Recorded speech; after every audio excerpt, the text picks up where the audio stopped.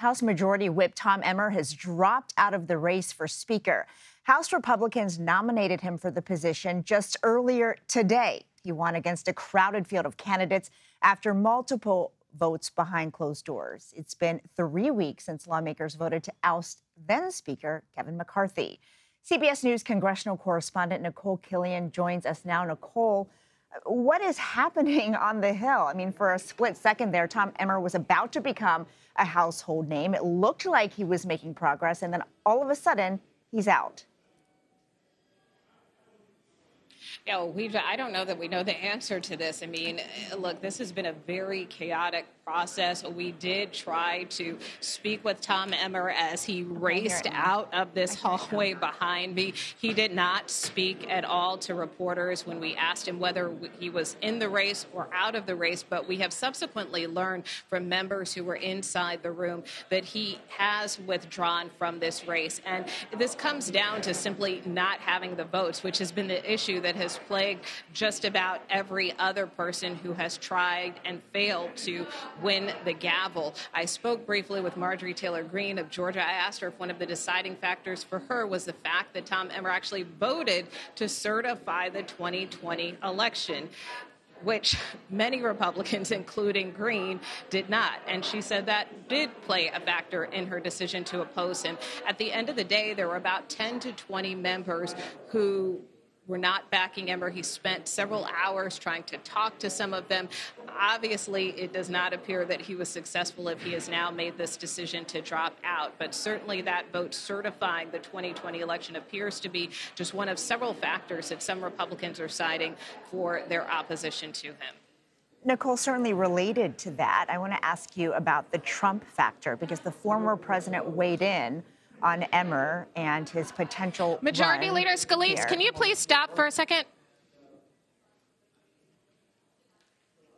Sorry about that. That was no. just the majority leader, Steve Scalise, who was walking by. Obviously, we weren't able to get him to stop. We were trying, but uh, you know, he has tried to be optimistic about this process and said that you know they are trying to work through this. But again, this begs some real questions about uh, the Republican Party. You know, just last week I asked uh, Kevin McCarthy, the former speaker who was ousted, who you know this started this entire process, if the Republican conference was broken, and his answer, simply put, was yes. You know and so I think this really is a moment where Republicans are going to have to do some soul searching here uh, because, as one member put it to us earlier today, they've gone through their top three. They've gone through Steve Scalise, who just walked past me. They have gone through Jim Jordan, who is considered a rising star, one of their uh, top uh, Republicans in the party.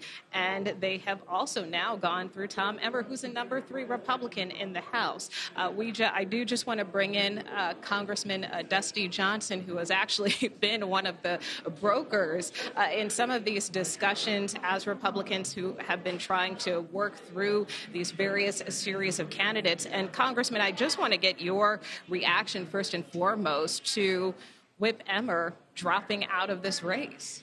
Tom Emmer would have been a good speaker. He knows how to count votes. He knows how to listen to members. He knows how to uh, put together a vision for a plan uh, for a team that needs to move forward together. It's unfortunate. In the same way, it was unfortunate that Jim Jordan had to get out and that Steve Scalise had to get out and that Kevin McCarthy was thrown out. These are but all. Sir, symptoms. this is more than unfortunate. I mean, you don't have a leader, and you can't seem to agree on one. Yeah, I mean, I guess you and I can have play the semantics game. You know, unfortunate, really unfortunate, terribly unfortunate, tragic. The bottom line is we just have to get a game plan moving forward. I mean, I'm frustrated, as every American should be. I think this reminds me how terribly irresponsible it was for the eight chaos agents uh, on my side of the aisle to work with the 208 uh, Democrats to put the House into this degree of absolute unpredictability. We're in, we're in a bad spot. Now, that being said, smart guys and smart gals need to roll up our sleeves. We need to quit complaining. We got to find a way through this darkness. What is that game plan? I think we need to remind everybody that until we can come to an agreement, the House is shut down. While the House is shut down, we can't secure the border. We cannot help our friend Israel. We cannot take care of Americans who have needs uh, today. We cannot try to avoid a government shutdown, which is staring us in the face in just a few weeks. We have real work to get done, and unfortunately, too many people in that room are more comfortable saying no. They'd rather win the fight and keep a shutdown than find a way forward. And just yesterday, you told me you think the odds of a shutdown come November 17th is increasing based on this situation. Yeah, shutdowns are stupid. They don't save any money. We're $33 trillion in debt. Clearly, we need a fiscal responsibility reset, and I backed a lot of mechanisms to get that done, some of them successfully. Most of the people who want to shut down the government say, oh, we need to do that to save money. It does not save a nickel, it costs us billions. And unfortunately, because Republicans in the House don't have a leader, we don't have a strategy for how to get conservative wins while keeping the government open. In terms of the path forward, I mean, is now the time to maybe revert back to this idea of empowering Speaker Pro Tem Patrick McHenry? One concern is that to get that done, I think Democrat votes would be necessary. And there's not a lot of trust right now. I mean, th- this three weeks of chaos was done absolutely, first and foremost, by eight hardline Republicans, some of whom love chaos, but they couldn't have done it on their own. And but do you need to start having those conversations with Democrats? I know they have indicated a willingness to, to work with Republicans. Part of the issue is when you have Democrats who are willing to embolden some of the most extreme voices in our conference three weeks ago, can we trust them not to do the same thing a week from now or a week from then? There is not a lot of trust. They frankly have not shown a willingness to put the stability of the House over their own partisan ends. And until uh, there is uh, some trust built there, I think Republicans are going to continue to work to get to 217 votes inside that room. And then, just very quickly, yes or no? I know the former president put out a Truth Social post calling Whip Emmer a RINO. Do you think that is ultimately what broke his bid today? When yes you no? when you have 221 Republicans and you have to get 217 votes, any four members, any more than four members, can sink that speakership. And but do you think the former president is to blame well, in this? I don't know that it could help, right? But uh, you know, Tom Emmer. Uh, he was making some progress. I do think the former president, uh, former President Trump's comments could not have helped. All right. Thank you so much, Congressman Dusty Johnson. Appreciate you for stopping. We get back to you.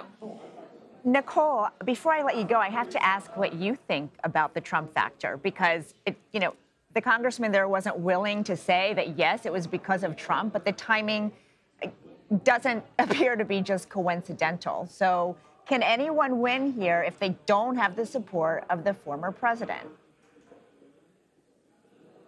Yeah, well, it's a really double edged sword if you think about it, Weijia, because just last week, the former president, endorsed Jim Jordan, and it was a full throated endorsement, and that was not enough to get him over the finish line. But yet, when he put out this Truth Social post criticizing him, and keep in mind, the former president made clear just yesterday he was going to withhold his support or he was going to wait for a while. But once he put out that Truth Social post, we did see the momentum start to change. And now, of course, uh, Republicans down a third candidate in this race with a question of who, if anyone, will be next.